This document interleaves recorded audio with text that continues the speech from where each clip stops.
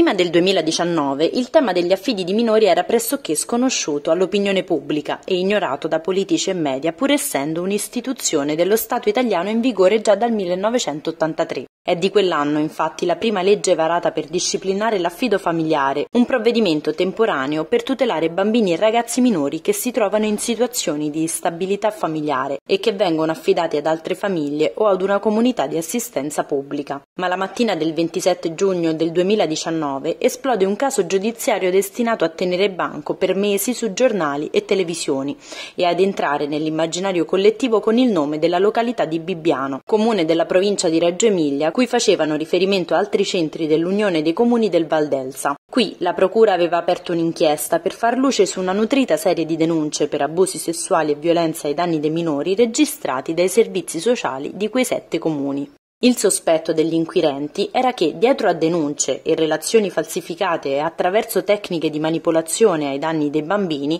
amministratori locali, funzionari dei servizi sociali, psicologi e consulenti di una cooperativa sociale, ci fosse in realtà il tentativo di togliere deliberatamente a famiglie incolpevoli i figli per affidarli ad altre famiglie. Complice l'argomento molto sensibile, l'inchiesta deflagrò e il caso Bibbiano divenne anche terreno di un feroce scontro politico da prima serata, contribuendo però anche a gettare un'ombra di pregiudizio e di diffidenza sui criteri di intervento delle istituzioni che regolano le procedure dell'affido. Poi, come sempre accade in Italia, i riflettori del clamore si sono spenti, ma il marchio Bibbiano è rimasto scolpito nell'immaginario collettivo come il luogo dove tolgono i bambini. In attesa che il processo arrivi a sentenza e permetta di stabilire una verità giudiziaria che confermi o ridimensioni la gravità dell'accaduto, la vicenda però ha messo in discussione il sistema dell'affido temporaneo, sollevando il dubbio che sia necessario rivedere norme, procedure e responsabilità di quanti, dai servizi sociali ai tribunali per i minori, hanno il il compito di vegliare storie drammatiche e di sofferenza per poi decidere il futuro dei bambini.